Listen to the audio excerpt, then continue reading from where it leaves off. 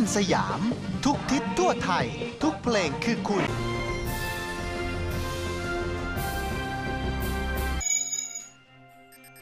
นายนิดหินเชยรนันเป็นผู้มีคุณูปการด้านโบราณสถาน และการอนุรักษ์ เป็นผู้ค้นพบเมืองโบราณจันเสน เมืองโบราณสมัยทวาราวดี ด้วยวิธีเทคนิคการอ่าน แปล และการวิเคราะห์ลักษณะภูมิประเทศ จากภาพถ่ายทางอากาศ ได้ริเริ่มแนวความคิดเรื่องการอนุรักษ์ จนเกิดเป็นอุทยานประวัติศาสตร์อยุธยา และโครงการอุทยานประวัติศาสตร์สุโขทัยในทุกจังหวะการดำเนินชีวิตไม่มีวันใด ที่จะไม่คำนึงถึงความสำคัญของสิ่งแวดล้อมบ้านเมือง และความเป็นไทย นักผังเมืองต้องเป็นนักอนุรักษ์ด้วยอย่างว่านะหรือทุกคนจะว่าไปต้องเป็นนักอนุรักษ์แล้วก็ต้องมีในตาที่จะเห็นความงามของสิ่งเหล่านี้ด้วยนะครับ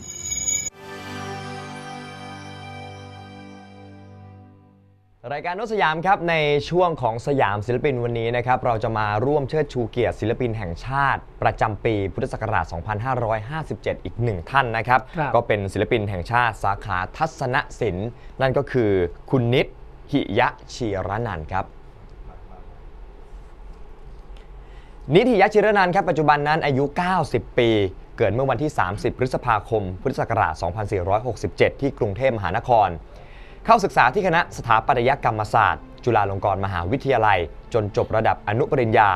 ได้รับทุนไปศึกษาต่อระดับปริญญาตรี ด้านสถาปัตยกรรม และปริญญาโทด้านการวางแผนภาคและผังเมือง จากมหาวิทยาลัยคอร์เนล University ครับประเทศสหรัฐอเมริกา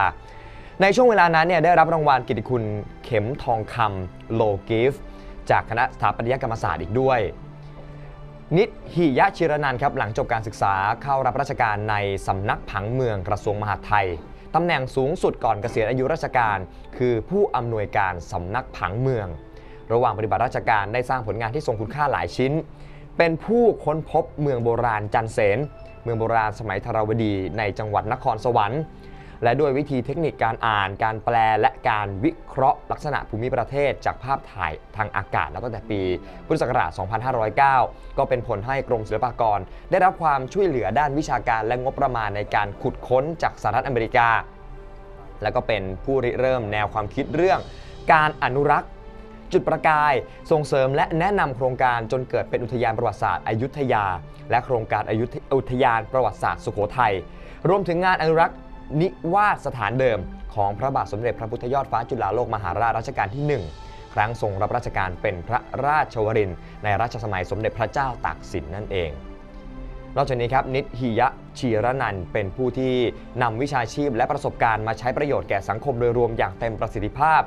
ทุกจังหวะการดำเนินชีวิตไม่มีวันใดที่จะไม่คำนึงถึงความสำคัญของสิ่งแวดล้อมบ้านเมือง และก็ความเป็นไทยอีกด้วย จากผลงานดังกล่าวครับจึงได้รับพระราชทานปริญญาการวางแผนภาคและผังเมืองดุษฎีบัณฑิตกิติมศักดิ์จุฬาลงกรณ์มหาวิทยาลัย เมื่อปีพุทธศักราช 2534 ก็เป็นกรรมการสภาวิทยาลัย ผู้ทรงคุณวุฒิจุฬาลงกรณ์มหาวิทยาลัยพุทธศักราช 2538 นะครับ แล้วก็ได้รับพระราชทานปริญญา ปรัชญาสุนทรีบัณฑิต กิติมศักดิ์ครับสาขาวิชาการวางผังชุมชนเมือง และสภาพแวดล้อมมหาวิทยาลัยศิลปากร พุทธศักราช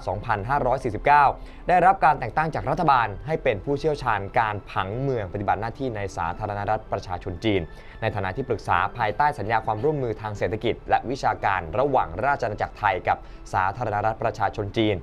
และได้รับพระราชทานโล่เกียรติคุณในฐานะปูชนียบุคคล ผู้อนุรักษ์มรดกไทยดีเด่น ด้านสถาปัตยกรรมไทยอีกด้วยครับ นายนิตหิยะชิรนันนะครับได้รับการยกย่องเชิดชูเกียรติเป็นศิลปินแห่งชาติสาขาทัศนศิลป์ครับ การออกแบบผังเมือง พุทธศักราช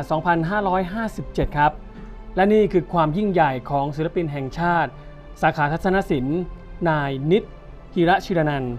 ศิลปินผู้ได้ชื่อว่าเป็นต้นแบบของคนรุ่นใหม่ครับ รายการรถสยามขอเชิดชูเกียรติมาณโอกาสนี้ครับ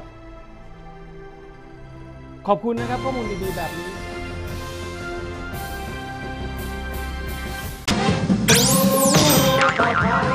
สยาม ทุกทิศทั่วไทย ทุกเพลงคือคุณ